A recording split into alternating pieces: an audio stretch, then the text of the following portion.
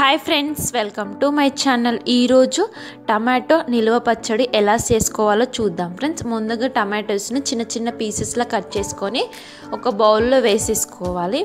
దీన్ని స్టవ్ పై పెట్టుకొని వీటిని బాగా మగ్గనివ్వాలి. ఫ్రెండ్స్ చాలాసేపు మగ్గనివ్వాలన్నమాట.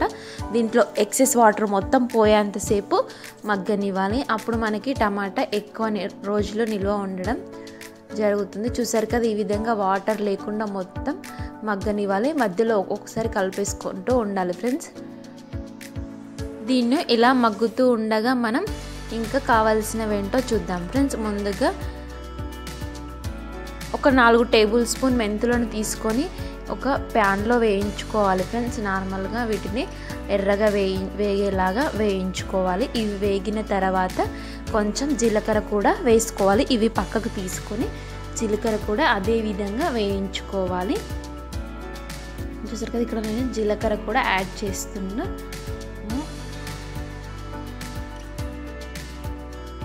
అదేవిధంగా జీలకర్రను కూడా వేయించుకొని జీలకర్ర మెంతులను ఒక బౌల్లో వేసేసుకోవాలి ఫ్రెండ్స్. వీటి వీటి రెండింటిని ఒక బౌల్లో సర్వ్ చేసుకుంటే సరిపోతుంది. తర్వాత దీంట్లోకి కొంచెం చింతపండు నానబెట్టేసుకొని ఉంచుకోవాలి.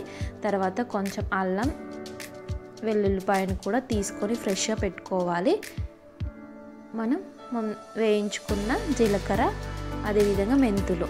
తర్వాత ఇప్పుడు మనకి ఇది పర్ఫెక్ట్గా మగ్గిపోయింది ఫ్రెండ్స్ దీన్ని ఒకసారి కలుపుకొని ఇందులో కొన్ని చింతపండు మనం నానబెట్టేసుకున్నాం కదా దాన్ని ఇందులో వేసేసుకొని మొత్తం ఈక్వల్గా కలుపుకోవాలన్నమాట. చింతపండు వేసిన తర్వాత కొద్దిసేపు ఉంచుకొని స్టవ్ ఆఫ్ చేసుకోవాలి. చల్లారిన తర్వాత ఈ విధంగా పప్పు రుబ్బుకునే ఉంటుంది కదా ఫ్రెండ్స్ దాంతో ఈ విధంగా మెత్తగా మెదుముకోవాలి. లేకపోతే మిక్సీ అయినా పట్టుకోవచ్చు కాబట్టి కానీ ఇక్కడ పప్పు బుద్ధితోటి మెత్తగా మెదుముకుంటున్నాం అన్నమాట. ఈ విధంగా మెత్తగా రుబ్బుకోవాలి. తర్వాత మనం ముందుగా తీసుకున్న మెంతులు జీలకర్రని పొడి చేసుకోవాలి. అదేవిధంగా అల్లం వెల్లుల్లి పేస్ట్ని కూడా చేసేసుకోవాలి. ఫ్రెష్గా ఉండాలన్నమాట. తర్వాత ఈ గ్లాస్ తోటి కిలో టమాటోకు ఈ గ్లాస్ తోటి కారం ఒక గ్లాస్ కారం వేసుకుంటున్నాం ఫ్రెండ్స్. తర్వాత ఉప్పు కూడా సగం వరకు ఉప్పు వేసుకుంటున్నాము.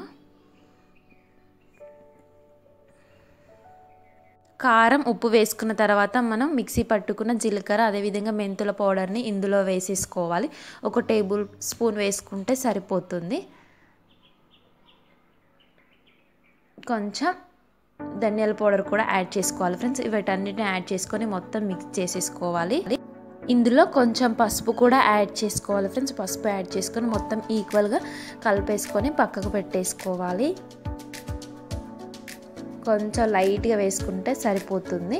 ఇప్పుడు దీన్ని పక్కకు పెట్టేసుకొని స్టవ్ ఆన్ చేసుకొని స్టవ్ పై ప్యాన్ పెట్టేసుకోవాలి.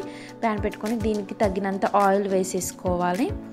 ఒక గ్లాస్ ఆయిల్ వేసుకున్న తర్వాత కొంచెం జీలకర్ర ఆవాలను ఇందులో వేసేసుకొని వేయించుకోవాలి. ఇది పోపుకు అనమాట తర్వాత ఎండుమిర్చిని కూడా యాడ్ చేసుకుంటున్నాము. కొంచెం కరివేపాకు కూడా వేసేసుకోవాలి. వీటన్నిటిని వేసుకొని వేగిన తర్వాత స్టవ్ ఆఫ్ చేసుకుంటే సరిపోతుంది.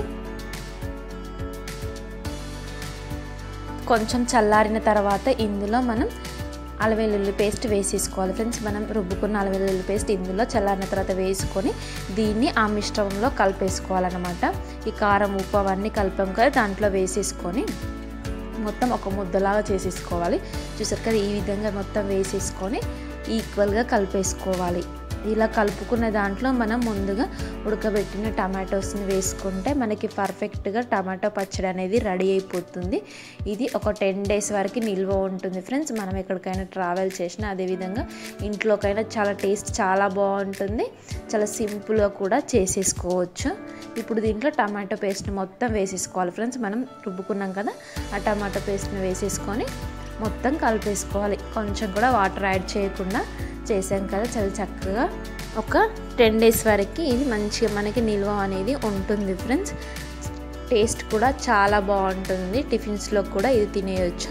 ఈ వీడియో మీకు నచ్చినట్టయితే లైక్ చేయండి షేర్ చేయండి. మరిన్ని ఇలాంటి వీడియోస్ కోసం మా ఛానల్ని సబ్స్క్రైబ్ చేసుకోండి. Thank you for watching friends.